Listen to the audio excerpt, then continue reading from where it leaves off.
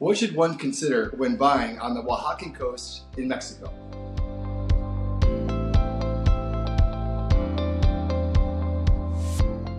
Hello everybody, my name is Peter Poljan from Poljan Properties and today we have something just a little bit different for you. As you may recall or you may have seen, I do some traveling down to Mexico here and there.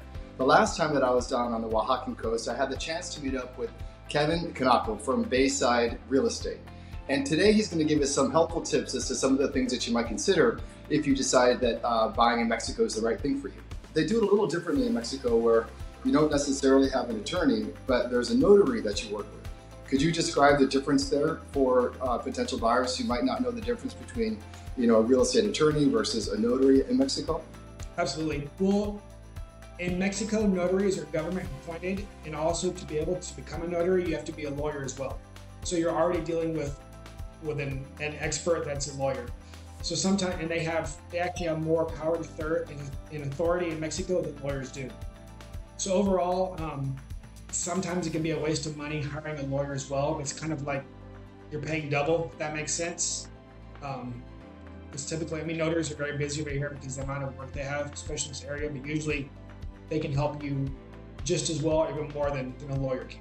Well, that's helpful too, Kevin. I um, I guess the only other thing is, you know, I know we talked a bit about you know what people are drawn their drawn to uh, Puerto Escondido for specifically, but maybe you can give us a little insight as to you know what else might be uh, you know uh, an attraction for folks. I know surfing is a big deal.